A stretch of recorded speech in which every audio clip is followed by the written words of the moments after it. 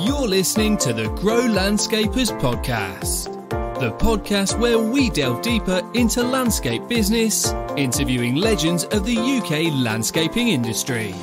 So, join host Nick Ruddle as he explores their thoughts, insights, and experiences. That's here on the Grow Landscapers Podcast.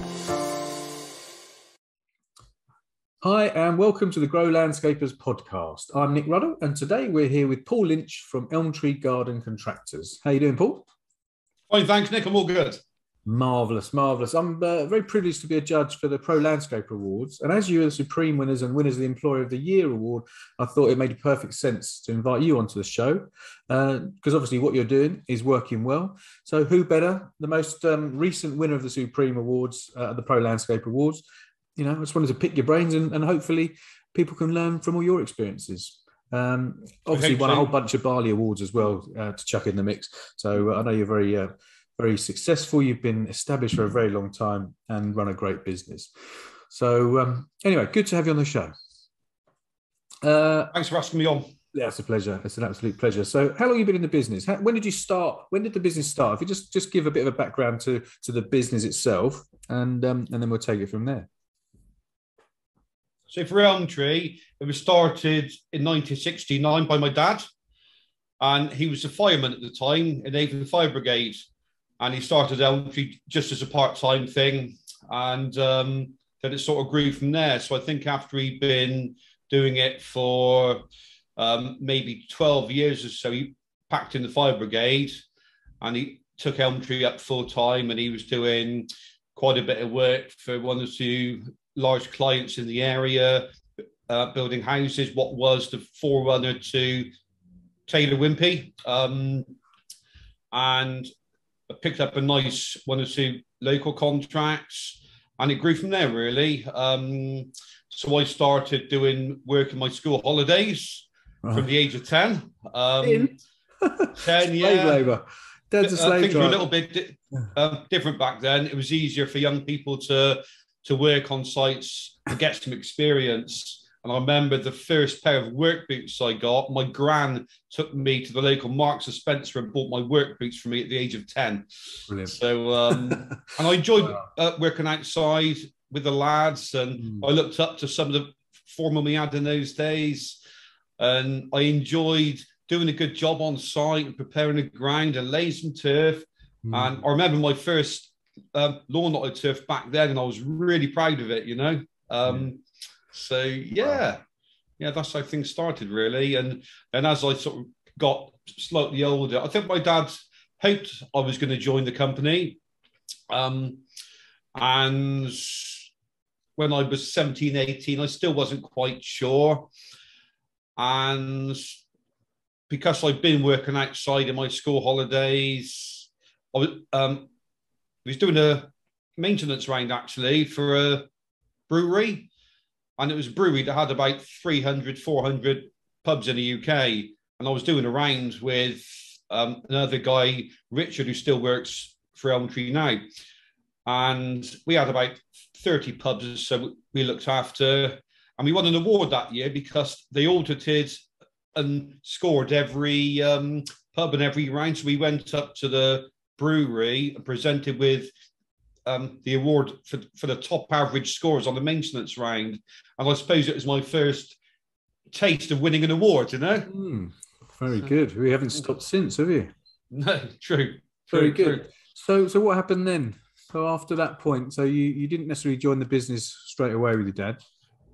Well, I did really, yeah. I mean, um, I went to Pershore College. Yeah. I did a year's course in um, it was an NCH in horticulture, landscaping. Okay. And I went back um, before that actually, when I was 16, I developed the uh, systems in the company for BS 5750, wow. which was the uh, forerunner to ISO 9002. So that was 16. pretty interesting you, for when me. When 16 years old? Yeah, yeah, yeah. Wow, it's phenomenal. And an Elm Tree at the time, we're the fifth landscaping co- company in the UK to have BS five seven five zero. Brilliant. God. Yeah. Unbelievable. So you went off and you got um, some qual- proper qualifications in the industry. and then what then came straight back back to the business and and, and you haven't looked back since. I suppose you've been there ever since. Yeah, really. I mean, initially I was working outside sometimes on the tools. I was doing a little bit of the management side. Uh, then it just grew from there, really. So I think I knew then after I was 20 or so, it was what I was going to do. Mm. And I really enjoyed it. And, and as I sort of grew more into a management role, I started to put my own slant on things as well.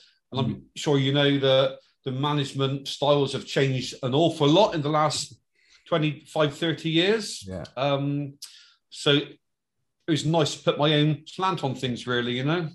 So what, what was the what did the business look like when you started then in terms of the size, turnover, people, amount of oh. vehicles, you know, that kind of stuff, the kind of projects you worked on. What did it look like then? So I think in those days we probably had uh, 15 to 18 guys working for us. It was yeah. my dad's um, landscape manager as well. We had an admin person in the office who's my auntie. Um, and it, you know, mainly it was new new build site. So for the likes of Taylor Wimpey, uh, Lovell Homes, and several other smaller clients. Um, it was all soft landscaping work. Really, we didn't really touch the hard landscaping side of things, and we did gra- grounds maintenance as well. Um, the office was run from from our house where I grew up.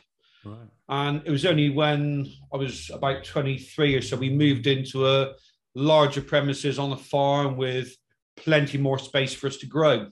Mm. So, what does it look um, now then? What does it look like now? So, from eight, from 15 to 18 people, your auntie working in the office from home, and what does it look like today?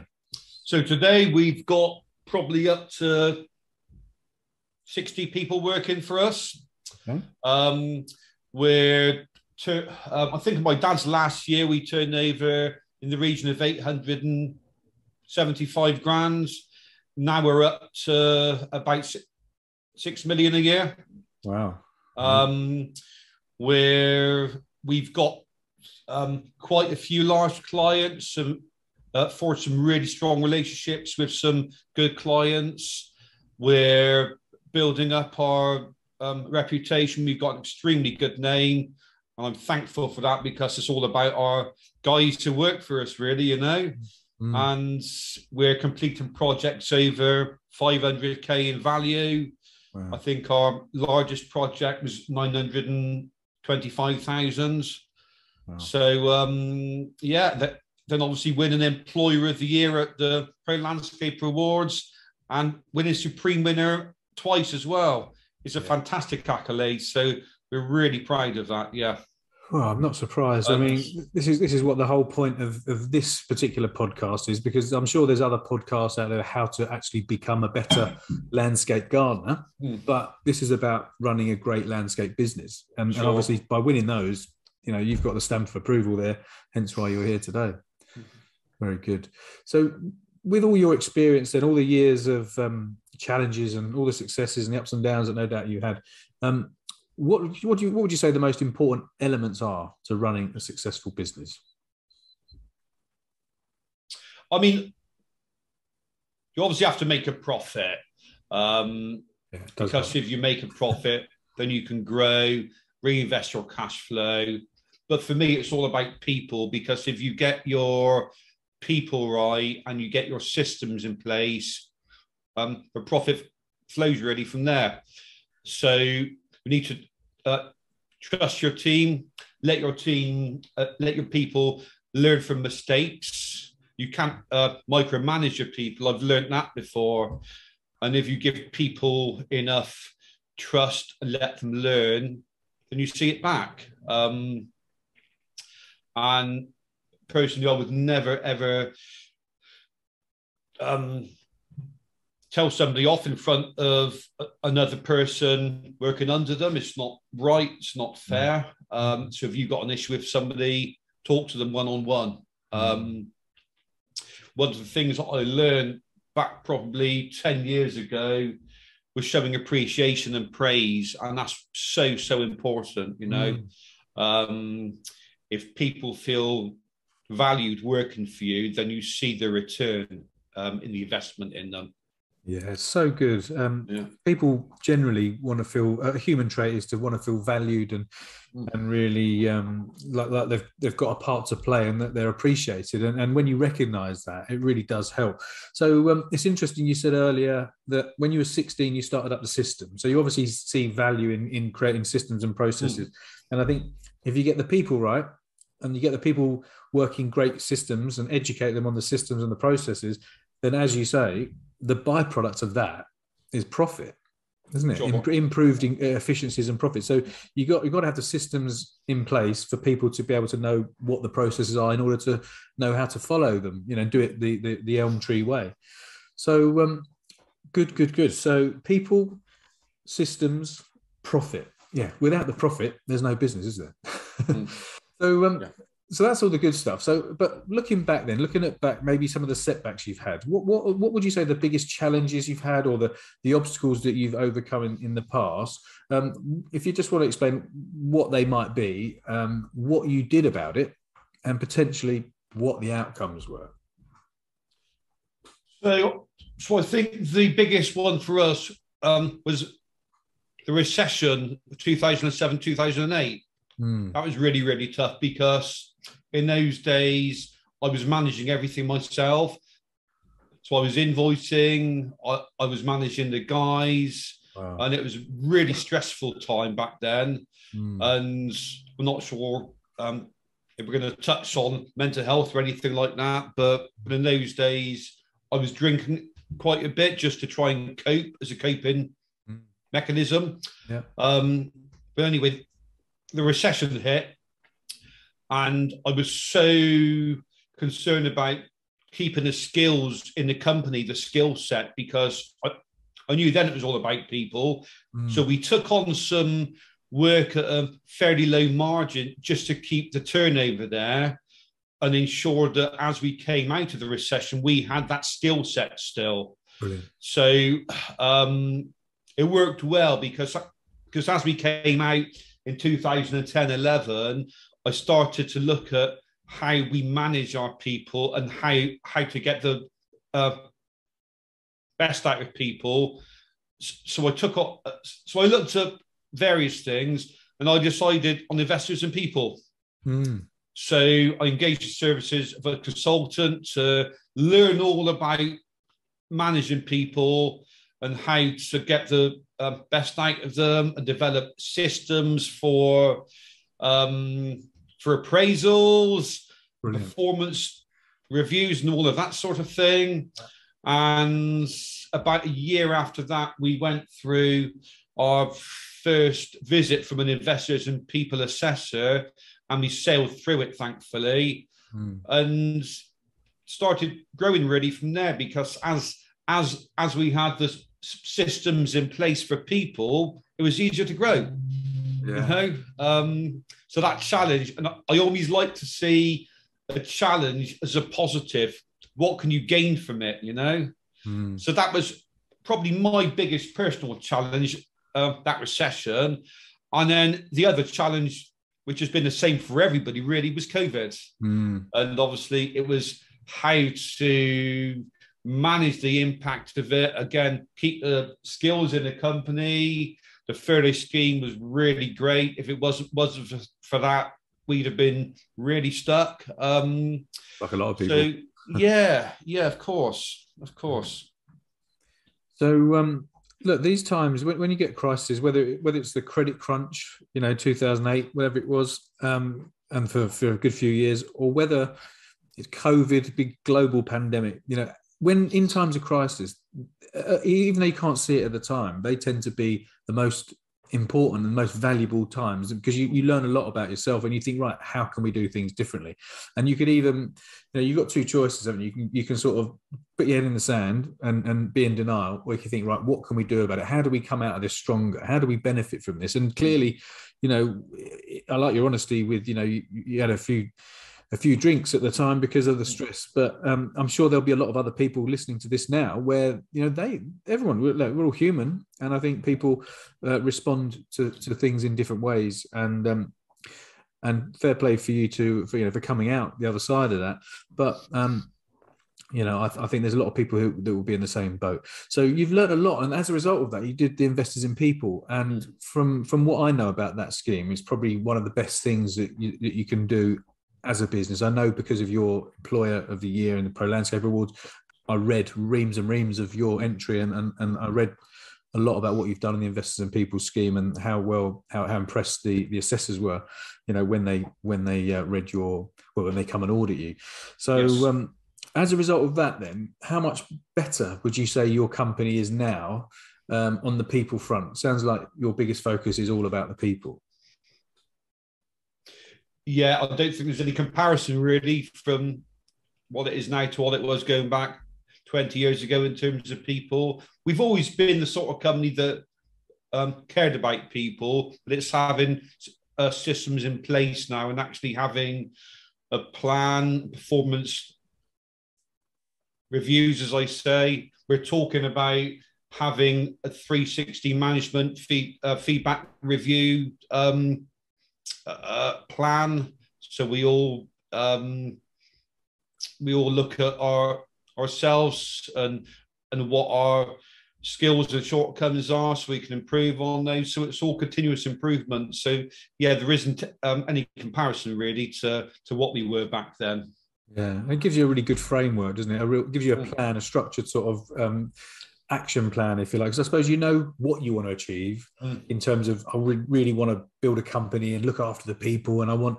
you know to to to look after everyone, but you don't necessarily know how to do it. So I suppose that gives you the roadmap that you think they, that they say, right, you need to have this in place, you need to do this, you need to have appraisals, you need to have values, you need to have a vision, you need to have meetings, you need to have structure, you need to have systems, I suppose all those kind of things. But you don't know that until you know it. So I think that gives you a nice. Um, specific- you have to ask for help, um, and if you don't, so you think um, you can't learn everything yourself just by looking on Google and just by reading books. So you need to ask for help, and that might be help in the network you have locally. It might be help in the um, trade associations you're in. For example, Bali are fantastic. Yeah. And they they have um, an officer for uh, technical stuff. You have your local meetings where you can attend, and it might be a walk around the garden, it might be a talk, but there's other landscapers there. And yeah. if you attend those and you talk to other people, there's people in the same boat as you or who were in the same boat as you five or 10 years yeah beforehand, you know? Yeah. So use that network and ask people. Mm. And the la- landscaping industry is such a friendly industry, I find. Yeah. So there's always somebody that's uh, willing to take the time to explain something to you. Mm. And the other thing, actually, wh- where I have learned something is entering the awards for Bali, where the uh, um, judges come out, uh, um, look at the jobs with you, mm. and I've I've learnt things from the judges' visits as well, technical things that I wouldn't have had a, yeah. a clue about beforehand. Yeah. I've learnt that from the judge. Yeah, yeah, it's amazing, isn't it? I think a lot of people have that on the show already have said, get out there, speak to people, because it can be very lonely running your own business. If you try and do yes. it all yourself, it's, you're in your own bubble. Mm. You're never yeah. going to pick up, you know, the the knowledge that you need. But through Bali and the APL and um, and Pro Landscaper Awards and all those things combined, getting out into the community, like you say, there's people that have done what you are trying to do previously. You know, there, there's people that are, you know, that have been there, done it. And if you can lean on them, and like you say, the industry is really friendly and, and very yes. abundant. Everyone wants to help each other. Mm. And I mm. think you just got to reach out to people and ask. Don't be afraid to ask. I think that's a common yeah. theme with everyone. No, very good. Good, great points exactly. there. So, um, if I was to ask you, put you on the spot and ask you if, if there were three tips or three bits of advice um, that you could suggest that would improve a company's efficiencies or profits, what would you say the top three things would be to in order to improve your profits and your efficiency? To improve profits. For me, improving profits comes from from people. Um, and it's got to start with staff retention because um, it can cost up to twenty thousand pounds for you to recruit and train a new member of staff. Yeah. So if if you're going to waste twenty thousand pounds mm. on um, or spend twenty thousand pounds on recruiting and training somebody, it's a lot better for you to look after the people in the company at the time. Yeah. So I've got got to say that uh, number one for me mm. is to look at ways of retaining your staff, whether that be um, training, um, communication, doing appraisals, looking at where they can move up in a company, make sure there's a clear line of progression so they can move up. We, we've always liked to recruit um, to to promote from within. Yeah, wherever possible. Um, and it's so fantastic to see people that have started with us that have said they've got no ambition whatsoever of uh, moving up the ladder, and suddenly they're supervisors and managers in the company. You know. Yeah. Um, so pe- people is my number one thing because everything stems from them. Yeah. Um, in terms of profit, the second tip. Um, you need to be making sure that that you're making a profit on every job. So you've got to have some system of measuring your profit. Um, and it depends what size you are, but but you've got to be uh, costing your job properly, making sure you know the value of any goods you're buying. Mm. And if it's a project in times like this where the cost of materials are changing so quickly, ensure that you put in your uh, quotation that this price is only valid for 30 days or 60 days, whatever, because yeah. costs can change so much. And then throughout the job, just ensure you're keeping tabs on the expenditure so you know that you're going to run that job at a profit. And if you don't make quite as much profit on one job as what you wanted to, just look at that that spreadsheet and see where it didn't go quite as well, so you can mm. improve mm. on the next time. Yeah, knowing your numbers, so good. I think you couldn't have asked for better better answers there. I think they're spot on. Would there be a, a third and final one? I think you've nailed them, to be honest. with knowing yeah. your numbers, getting your pricing right, getting the right people. You know, I think I think that in, in, incorporates quite a lot of those. Really, I, I, don't I don't want to put you under any more pressure than I just did. So, uh, moving on to the next question, then. Oh, One thing on. I would say is to, that don't be scared of investing in your team hmm. because it's easy for somebody to think, oh, if I spend one thousand pounds on a course for this person, mm. and then I spend X amount on doing appraisals and that. Then if they leave in six months' time, it's all a waste. But mm. actually, if if that person feels that you're investing in them, they're a lot le- less likely to leave. Yeah. So yeah. yeah. I've always said if there is a business case for anything, I'll do it. Yeah. Whether that be buying a piece of machinery or paying for mental health training for somebody or for buying a new vehicle. If there's a business case, I'll do it. And um, if people know that you that you uh, think they're they're essential to you and that you value them, they're a lot more likely to stay with you. Yeah, yeah. So, if you're prepared yeah. to prepared to invest into them. See, the mm. trouble is, if you don't train them, they stay. yeah, and, yeah. And, and and if they're not if they're not adding value, uh, you know, then then really, you know, what's worse, you know, invest in them and they go, or, or not invest in them at all. Yeah. know? So um, and I think, like you say, there's there's there's that law of reciprocity. You know, if if if, if you give back, give them, they want they want to give back, and um, yeah. and when they become more valuable to you because they've got more knowledge, then you should really get better performance, shouldn't you, off the off the back of that. Yeah, I mean, there's there's probably four people I can think of now who would have left in the last two years if we hadn't been the sort of company that invest in them. So we did um, four people who were suffering with either depression or or other um, or other issue uh, mental health issues, and where we have an open policy and we talk about mental health as a company, um, and we do mental health awareness training, those people felt able to to approach us and talk. Yeah. And so we found solutions and help help them. And those four people are in the company now. Yeah. So again, you know, if you think that to recruit and train somebody can cost up to twenty thousand pounds, potentially those four people stay in mm. has saved us eighty thousand pounds. Yeah, that's amazing. You know? Yeah, that's a great, great thing to be able to do. Um, wonderful. So, um, if um, if you had any advice about someone at the moment, so through, with your experience, um, obviously been through the tough times and um, you've been through certain challenges and you've overcome those challenges. What advice would you give to someone who's maybe a bit stuck in their business at the moment? They, they want to expand it, but they don't really know what those first steps are to take. What would you say to them? I think I would go back to what I said earlier on about um, using your network.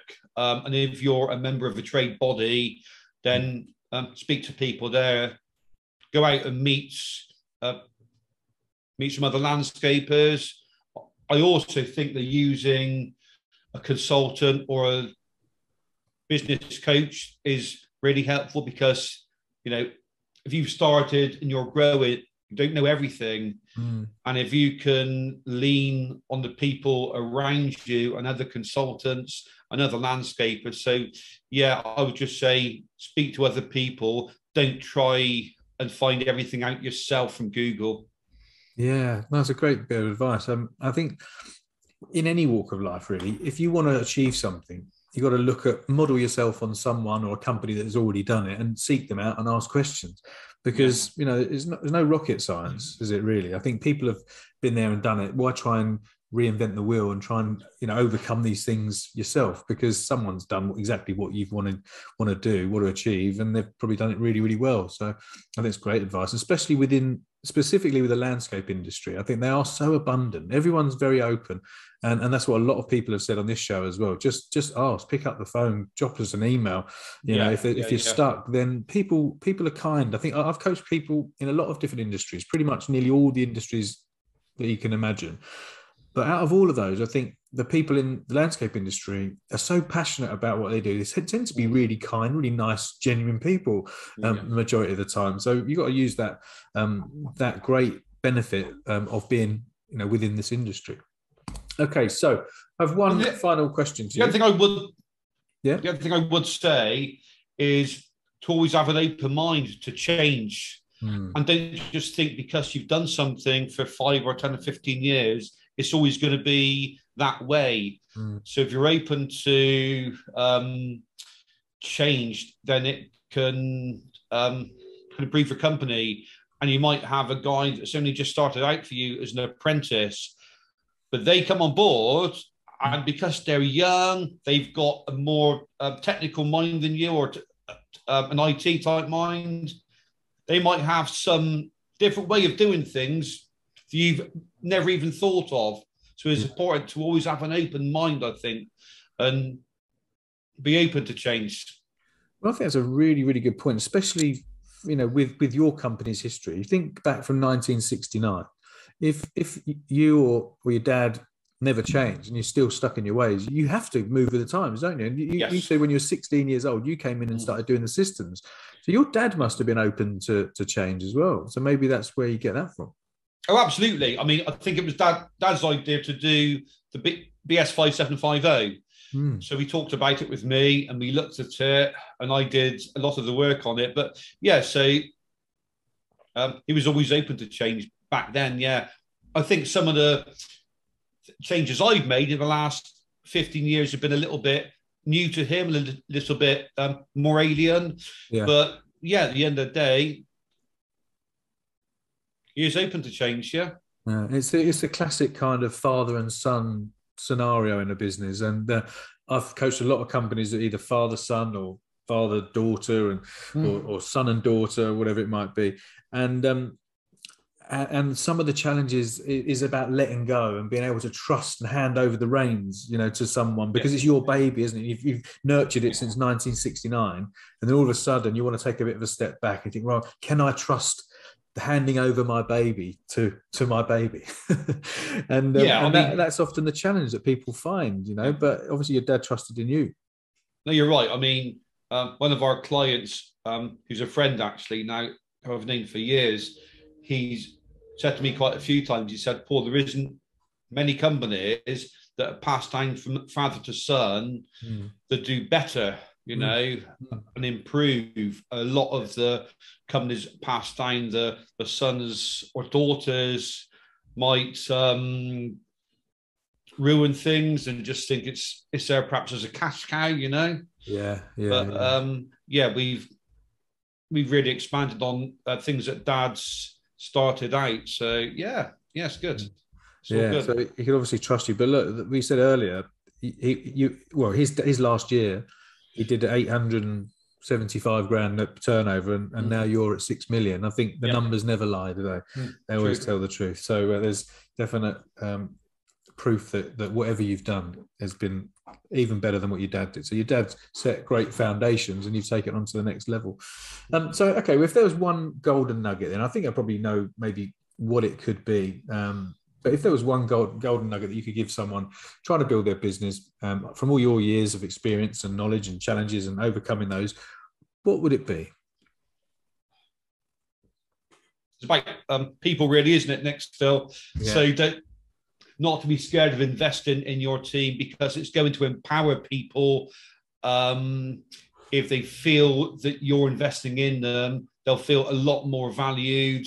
When I started doing investors in people going back in 2011 we had something up on the board about what um, what matters to people in a job mm. and there was money there was praise there was uh, feeling valued and money came up as about number three number four yeah. so it wasn't the most important thing yeah. i appreciate now because the cost of living crisis and everything mm. money is uh, um, a lot um, really important to people, but there's other things that are really important as well. So don't be scared of investing in your team. If you want to keep your staff retention up um, or improve your staff retention, your people have have to feel valued and empowered.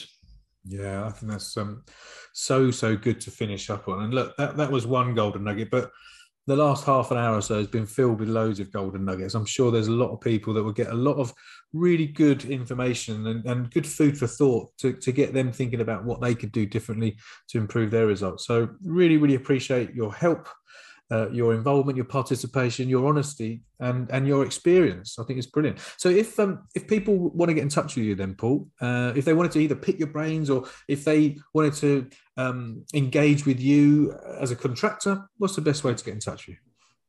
Um, through our, through our website, which is www.elmtreegarden.co.uk, or my email address, which is paul at elmtreegarden.co.uk. That's brilliant. I think you've um, you've really helped a lot of people out there. There's loads of wisdom there and nice bite-sized chunks, and um, I think you hit the nail on the head with everything you said. So, um, Paul, it's been an absolute pleasure. I really appreciate your time. I know you're a busy man. Um, thanks for everything, and um, we'll catch up with you soon. Thanks very much, Nick. I've enjoyed it. Brilliant. So have I. I'll catch you soon. Cheers, Paul. Cheers. Bye, bye, bye. Thanks for listening to the Grow Landscapers podcast.